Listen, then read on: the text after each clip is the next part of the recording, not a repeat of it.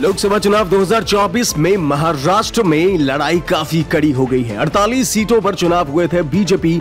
यहाँ 12 सीटों पर बढ़त बनाए हुए है। शिवसेना यूबीटी 10 सीटों पर, वही कांग्रेस 9 सीटों पर बढ़त बनाए हुए है। भाजपा जिन सीटों पर बढ़त बनाए हुए है, उनमें Dhule, Jalgaon, Raver, Nagpur, Bhandara, Gondia, Nanded, Jalna, Palghar, Mumbai north Mumbai north central, Pune और बीड़ शामिल है।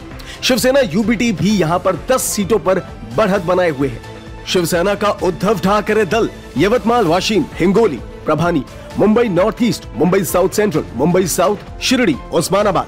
Ratnagiri Sindhudurg Hatkanangle में बढ़त बनाए हुए है। कांग्रेस की बढ़त नांदूरबार अकोला अमरावती रामटेक गढ़चिरौली चिमूर चंद्रपुर लातूर सोलापुर और कोल्हापुर में बनी हुई है। अमरावती की बहुचर्चित सीट से बलवंत वानखेड़े 3,322 वोटों से आगे चल रहे हैं। भारतीय जनता पार्टी की नवनीत राणा पीछे चल रही है। नागपुर से नितिन गडकरी 22,674 वोटों की बढ़त बनाए हुए हैं। विकास ठाकरे यहाँ से पीछे चल रहे हैं। केंद्रीय मंत्री पीयूष गोयल मुंबई नॉर्थ से 36,744 वोटों से आगे चल रहे हैं। कांग्रेस के भूषण पाटिल यहाँ से पीछे चल रहे हैं।